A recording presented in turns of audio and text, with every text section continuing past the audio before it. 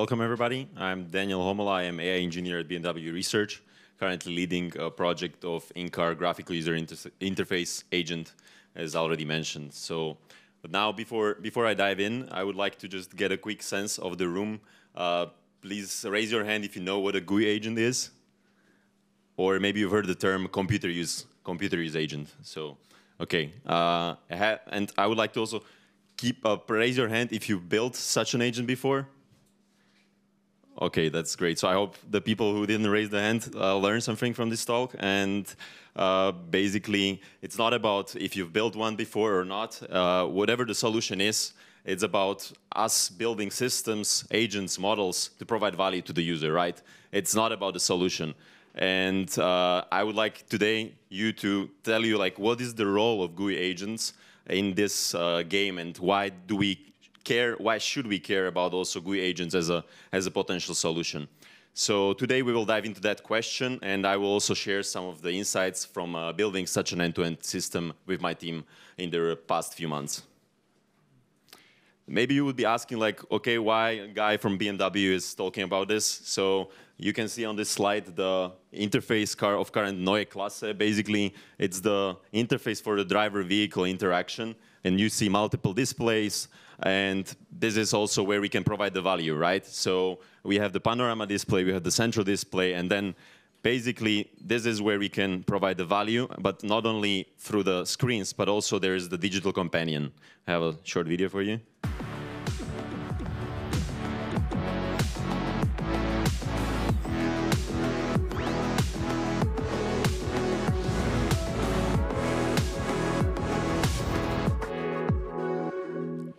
So as you could see, there was like digital companion on board to make, create, make your drive smarter. So like, what does it mean, make your drive smarter? It's a bit vague, right? But this is why we are here at AI Engineering Conference, and agents are the hype, and we can use agents to create the, the smarter assistant in the future, and in BMW, it's so-called intelligent personal assistant.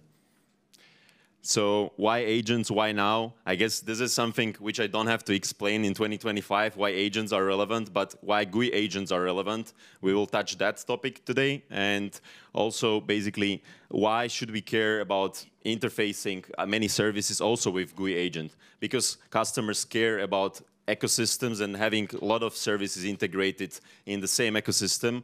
And we, as big companies, we have to integrate many services, and GUI agent can be a solution that can help us in this.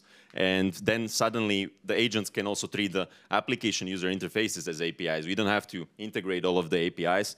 And you can imagine use cases like buying groceries, uh, booking accommodation, uh, buying tickets for cinema, whatever comes to your mind, and then we basically have the simple user utterance, and then we can do an action. It's not just the chatbot, it's actually doing work and uh, value, providing value for us by doing action on our behalf.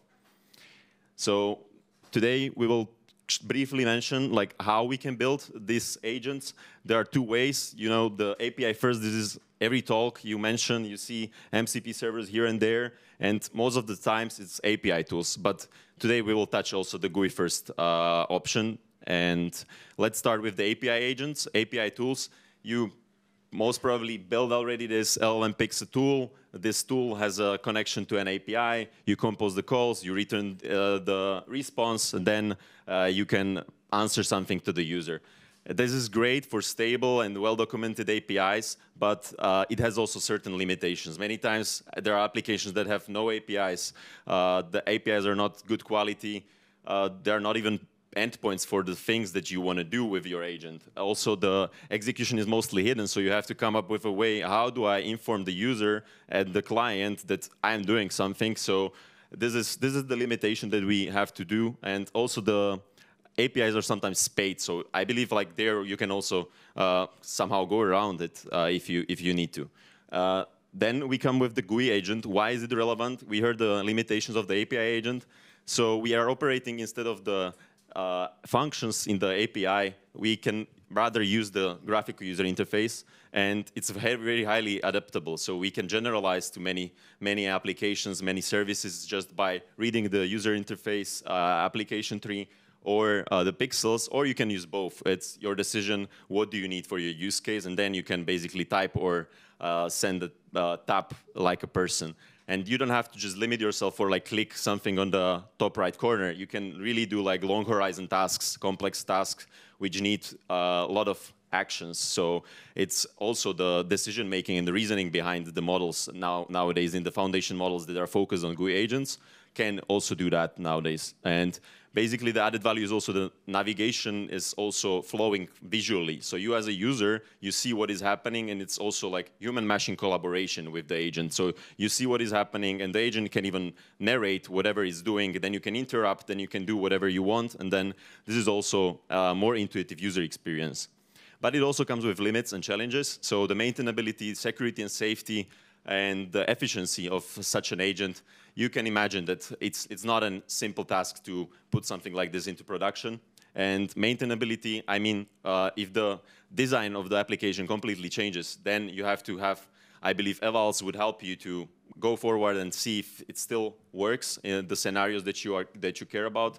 Uh, and maybe in an API, if the, if the design changed, you don't have to change anything in the API tool. So this is the change that you need to care, and also the security, so that your agent, GUI agent, doesn't do stuff that you don't want him to do, and also you need to do confirmations uh, or having basically scopes where the agent can operate. And also the efficiency, sometimes maybe you, with an API tool, you can do it in two calls, but for GUI agent, you need like trajectory of uh, seven actions. So this could be also sometimes like you have to see which use case makes actually sense to apply with a GUI agent. But where I would like to come is basically we have these two paradigms, and it's not about one or the other. Uh, let's start with uh, the paradigm of API agents. There are, there's one great paper, API agents versus GUI agents. It was recently, uh, recently released in June 2026, and basically it gives you kind of like advice where, when, the, which paradigm makes more sense. API agents, as I already mentioned, stable, well-documented API, that's great. But then GUI agent, that could be great if you have a legacy software, doesn't have an API, and there are many, many different uh, other situations where you would probably opt for GUI agent. But what I want to tell you here that it's not about one or the other, it's about building hybrid system that can eventually do both. So then you can be future-proof and scale integration of many services without needing to integrate hundreds of APIs uh, worldwide. So this is where I would like to get and this is basically the advice that I would like to also share here, that I think the path is going hybrid, that uh, if we want to integrate many services, we can integrate the most important, the uh, most uh, secure way for the API tools for the services that a lot of people use. But then we can cover many, many more apps and services with a GUI agent. And then basically we have a voice and orchestrator as the glue between these two.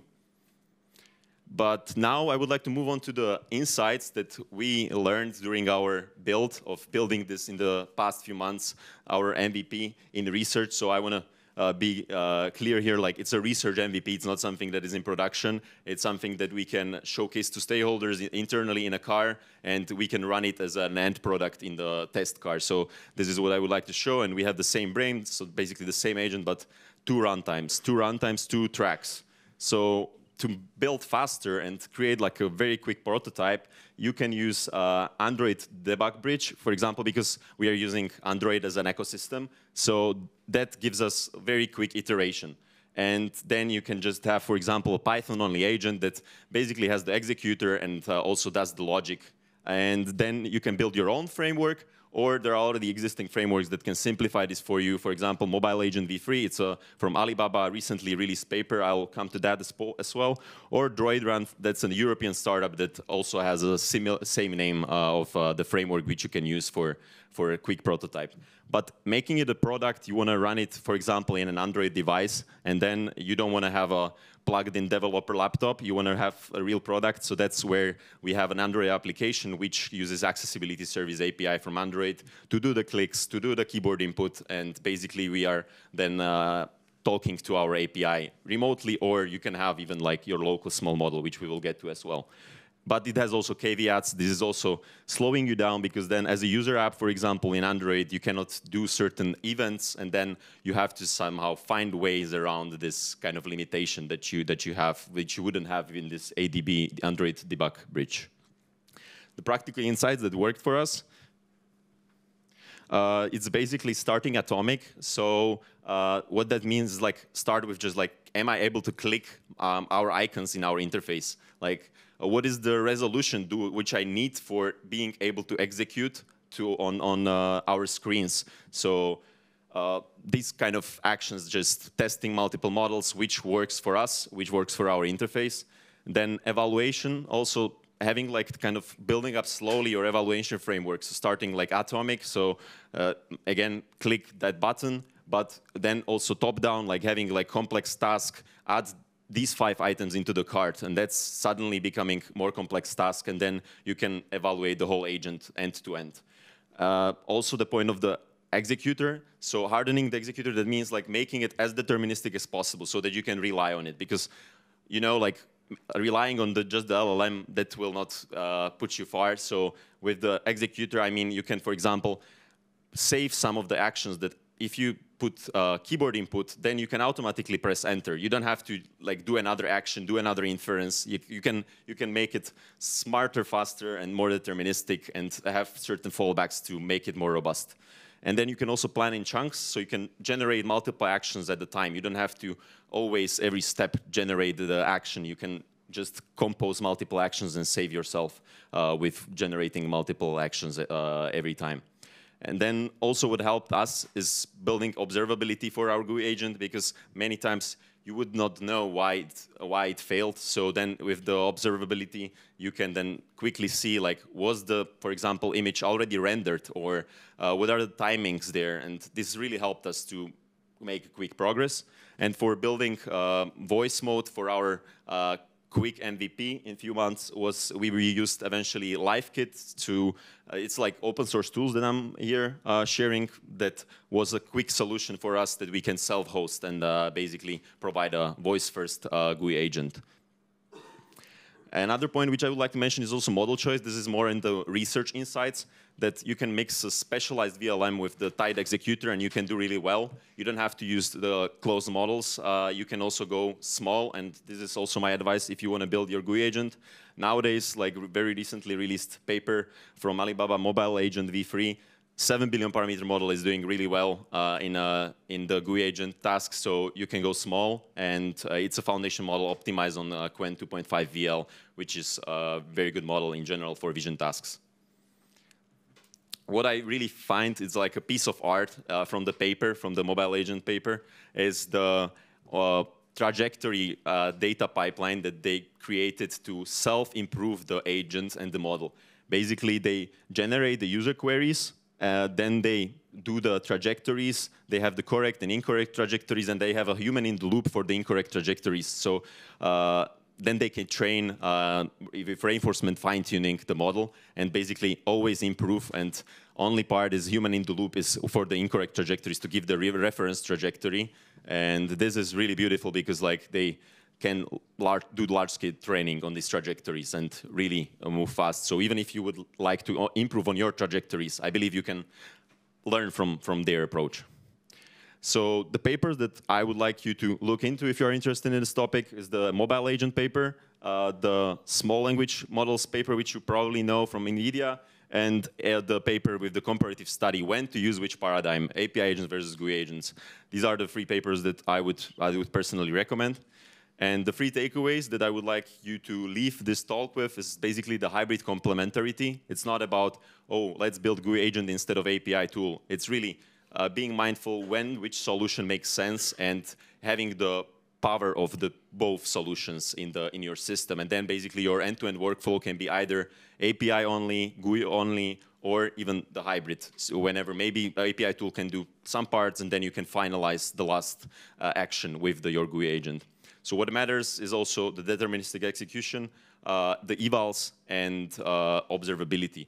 Because then I believe that these practices can then turn a cool demo into dependable behavior for the users, uh, so that it can be there, there can be the trust and safety, and also for the developers, because then you can do faster debugging and you have measurable progress with the evals. So it's not about like just vibing. This is, I believe, very important to have proper evals in this in this uh, GUI agent space. Uh, here are the resources, and you can find the slides here, and uh, let's connect. To wrap up, I would like to say that this is very exciting, uh, what is happening in this field, in this GUI agent space, and I hope you got some of the excitement after this talk uh, into this topic, and thank you very much. Uh, I'm happy to take any questions.